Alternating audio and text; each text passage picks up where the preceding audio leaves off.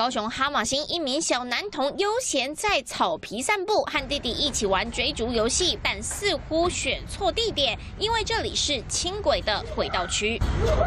轨道区规定禁止踏入，但两个小朋友玩到臭嗨嗨，一旁大人完全没制止，这个动作更让民众傻眼。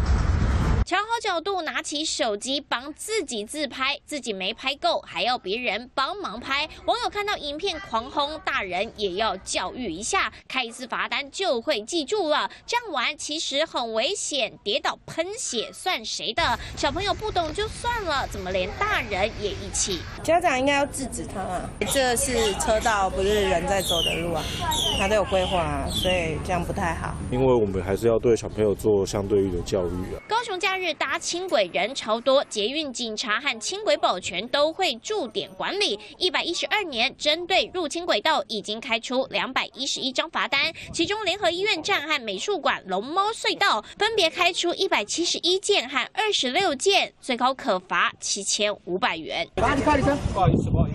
轻轨轨道区大多民众误闯时都会加快脚步离开，但小朋友玩成这样都没人制止。要是发生危险意外或是耽误轻轨发车，恐怕都让人摇头。解送配送黄世云高雄报道。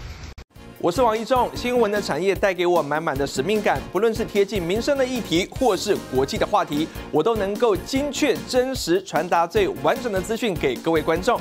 当然，更多的新闻请锁定中视 YouTube 频道，记得按赞、订阅、分享，并开启小铃铛哦。